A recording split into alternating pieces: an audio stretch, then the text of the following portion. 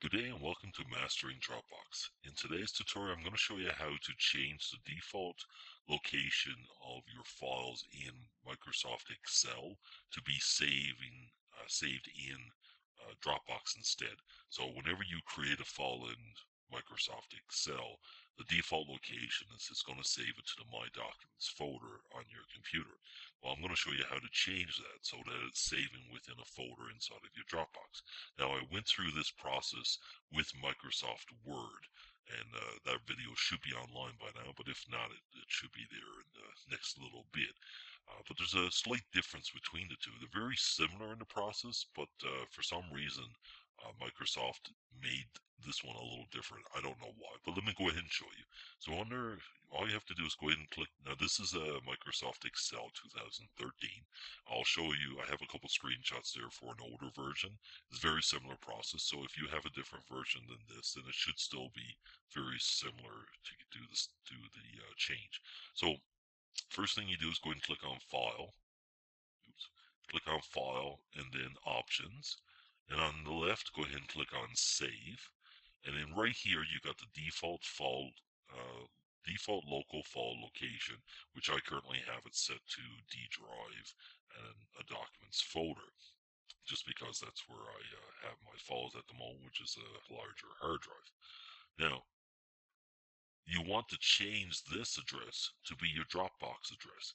Now, when I did this in Word, Uh, this is a Microsoft Word, and I went into File, Options, Save, and Default File Location, the exact same process with the exact same version. This is Microsoft Word 2013. That's Microsoft Excel 2013. Exact same process, but look at the difference. This one has a browse where I can click on browse and then I can click on Dropbox and I can choose the folder that I want to save it in. But when I do this in Excel, there's no option for browse. Uh, maybe if I extend it, no, there's no option for browse. I don't know why. The browse is not here, the browse is not there, but it is down here.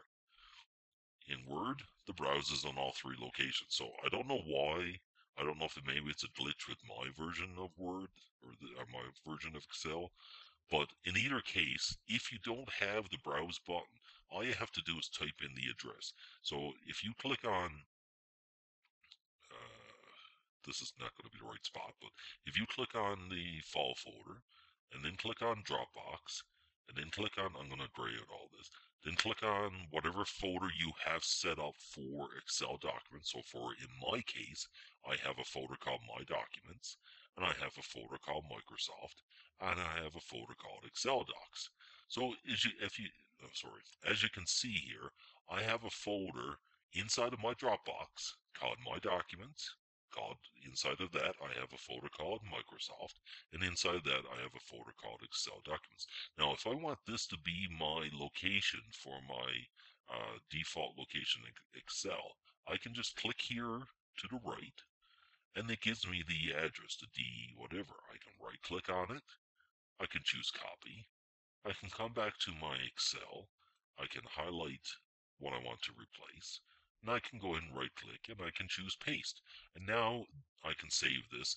And what will happen is that any new file I create in Microsoft Excel will default be saved to my Dropbox folder inside of the Excel Docs folder, which is inside of my Microsoft folder, inside of my, my documents folder. So that anytime I create any Excel spreadsheets, it's automatically saved in Dropbox.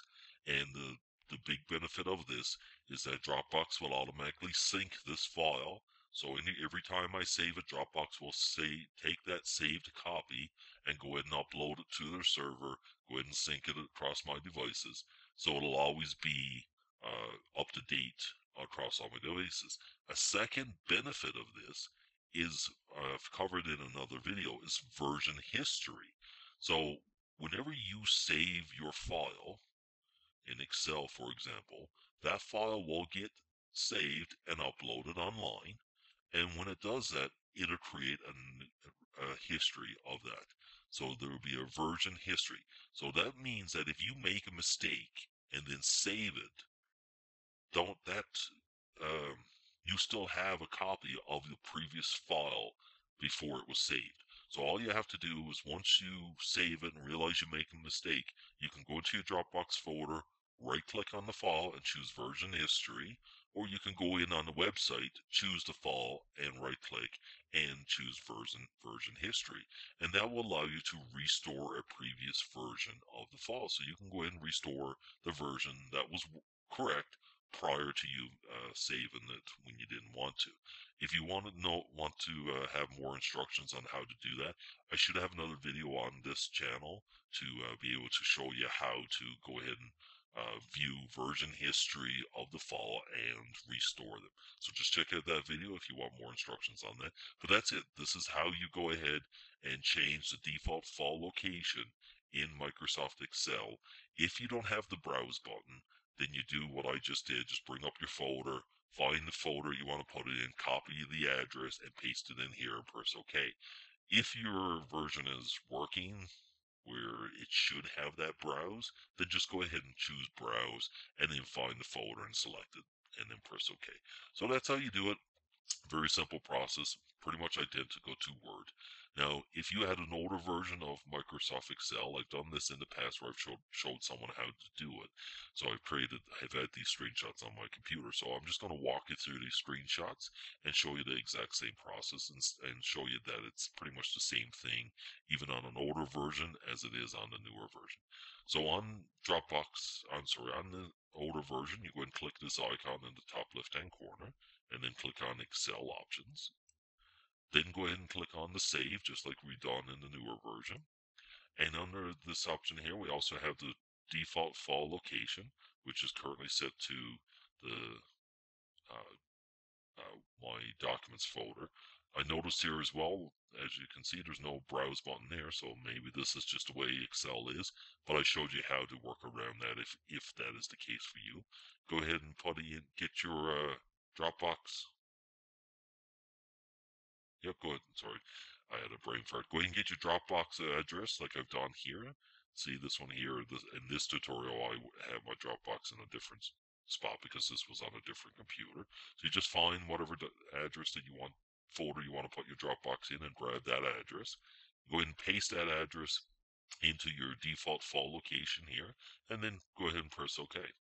So that's how you do it. So that's two different versions of Microsoft Excel and how to set it up. As you can see, they're both pretty similar.